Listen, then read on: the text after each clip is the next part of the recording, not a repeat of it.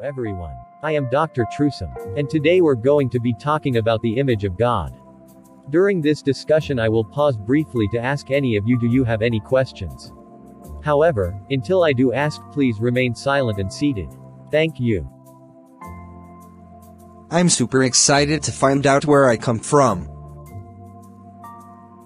I will be discussing Genesis chapter 1 verse 26 where it says, Let us make man in our image, after our likeness. Here, we see God talking about the creation of man and woman. Same man and woman created in the image of God. Now, the definition of the word image is, a visual representation of something. In this case the something is God. So we are a visual representation of God. In other words we are what God looks like. Excuse me, Dr. Tru Sum, will we receive a grade for this?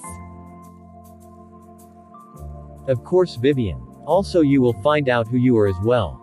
Now, knowing what the word image means, let's try to understand what God means when he said let us make man in our image, after our likeness.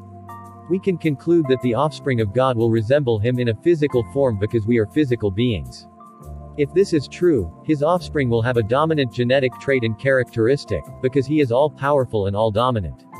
When looking at the science of genetics in human, we can clearly see that those that have melanin are more dominant than those that lack melanin. Are there any questions so far? Yes, Dr. Tru Sum. How can melanin prove that it's dominant? Good question, Scott. Well, science shows that, when a melanated person has sexual intercourse with a non-melanated person, 99.9% of the time, the offspring will be melanated.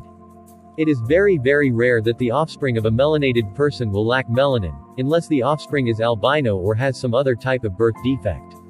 So, God's image, which would be a dominant image, would be the image that has melanin. Because melanin is a dominant genetic trait. So, everyone that has melanin is in the image of God. I end this class for now. Our next lesson will be on the image of those that lack melanin. Until then, those of you who have melanin, you are blessed and highly favored. Because after all, you are in the very image of God. See y'all next week. Thank you, Dr. Tru Sum. This was very good information. Now when I read this I can get a better understanding. Also it will help me understand much much more in the Bible. Thank you so much.